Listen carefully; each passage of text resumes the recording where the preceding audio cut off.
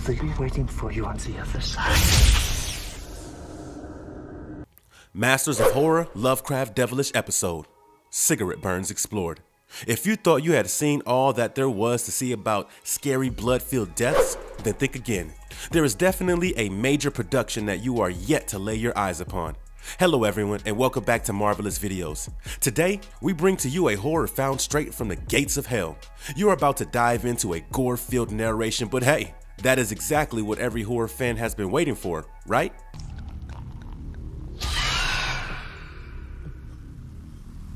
Anchor Bay has gathered some of the best horror film writers and directors to bring you the anthology series Masters of Horror on the Showtime Network. For the first time, the biggest and most famous names in the horror film genre have teamed up together for a series that will feature 13 one hour films each season.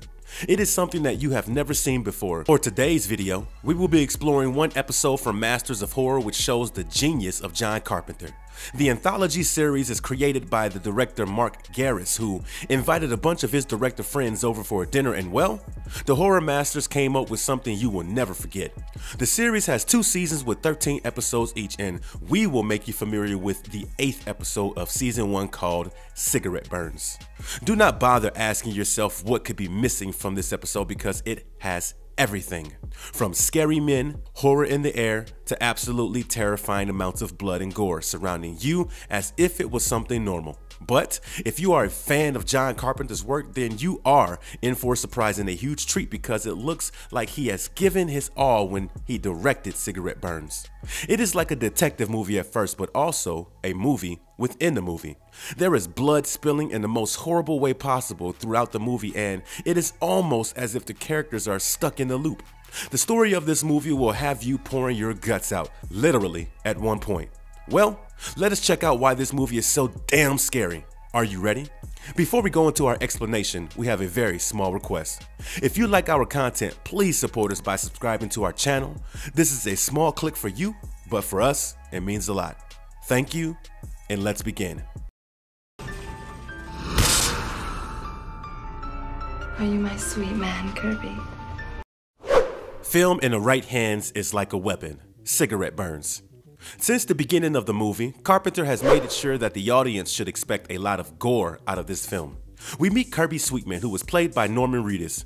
He is known for finding really rare films for his clients. Now, Mr. Bellinger, played by Udo Kier, has an exactly similar demand. What looks like the hardest film to find for Kirby will soon become something he is obsessed with. The film he is tasked with finding has only a single copy in the whole world because the rest were destroyed. Just to tell you how dangerous this film is.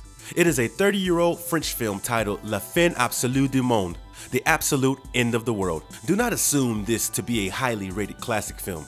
It is classic, but in a sense that when it was shown to an audience for the first time during the original premiere of the movie, something out of the ordinary happened in the theater. You can call it a homicidal riot. In Masters of Horror Cigarette Burns, works similar to so many Lovecraftian tales in which an object that subtly gains entry to a realm of hell that is mysterious or simply cannot be understood or even imagined by our basic minds. In the very next moment, we meet a man who lives like Bellinger's captive only because of his sick obsession with collecting not just rare films, but anything related to those films. This man was a part of this exact film in the sense of a living prop for it. The man's wounded shoulders look almost as if he had angelic wings which Bellinger cut off. The imprisoned guy confesses that his existence is linked with the films, and that is how Kirby has proof that the last copy of the film has not been destroyed yet. Well, now begins the detective hunt for La Fin Absolue du Monde. Kirby first meets up with the film critic who wrote a review for this. Even though the guy has gone half insane as a result of his obsession with this film, he warns Kirby and gives him an audio tape of an interview with the film's director. All the rumors surrounding the film and its directors clearly take a mental toll on Kirby and he starts visualizing his wife's suicide. He also has an added stress because he owes money to his wife's father. Well, after this, Kirby Sweetman meets his acquaintance, a film critic, Henry Cotillard. Apparently, this guy was the projectionist at a secret screening of the film. The only reason why he did not go insane or worse, dead, is because he looked away when the film was being played. He heard a lot of terrifying noises coming from the theater and death surrounded the whole place. This film was clearly no joke or funny business. So, he also tried to stop the screening at one point, but it ended up being blacked out. When he woke up, his left hand was brutally burned a scar that he can never recover from. Once again, Sweetman is reminded of the horrors of this film, but he still goes ahead with this task. It is less about the money now and more about his curiosity about the film. Henry sends him to a filmmaker named Dalibor who is played by Douglas Arthurs. Thinking that this man might know where the film is, Sweetman is easily led into a trap. Well, there never really is a way to escape death after all. It looks like Sweetman has been having visions where he sees a kind of ring of light and someone screaming through it. It looks like cigarette burns. So, could it be because he is getting closer and closer to finding Le Fin Absolue du Monde? Dalibor, the filmmaker, reveals to Sweetman that in the picture, an actual angel is sacrificed, and the evil of that tragedy infects everyone who watches it. And that is why evil leads to evil when anyone watches it. Sweetman then has another vision, and when he wakes up, he appears to be holding a machete. Dalibor's neck has been cut, and then Sweetman finds out about the window of the director of La Fin Absolue du Monde, Katja. Now, there is going to be a very serious turn of events in the film. Katja then hands over the only remaining copy of the film to Sweetman.